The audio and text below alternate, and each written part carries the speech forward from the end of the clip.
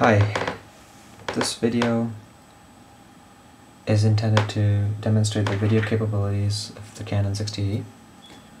So back when I was young, I used to be confused between the stalactite and the stalagmite, and I would never know which one was which.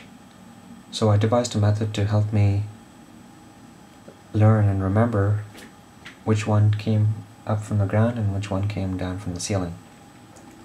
So the way I figured this out was I wrote the two words on a piece of paper like I am right now. I wrote each letter out one after the other with a good amount of spacing between them. And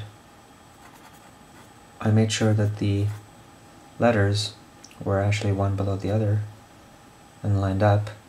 So I took advantage of the fact that the two words were mostly similar in both spelling and pronunciation, which was the cause for my confusion in the first place, in order to help me remember which one was which. So after I wrote the two words down, I cancelled off the common letters that appeared in the common places so the S's were cancelled, the T's were cancelled, the A's were cancelled, the L's were cancelled, A's were cancelled again.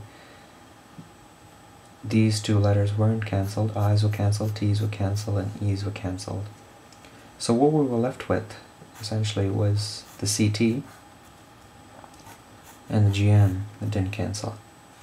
So I wrote these letters out separately, C, T, G, M, and what I did was I associated the letter C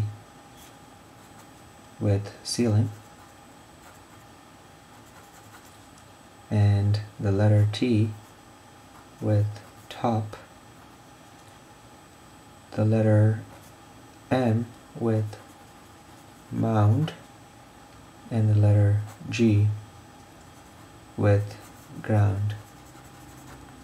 So, thanks to these associations in my head, I was able to very easily remember that the stalactite, which is the word with the C and the T, was down from the ceiling.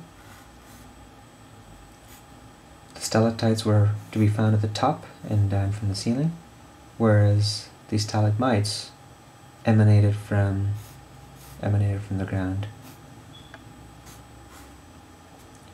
So in this manner, I was able to always remember which one was a stalactite and which one was a stalagmite. Well, hopefully that video was useful. See ya until the next video. Bye bye.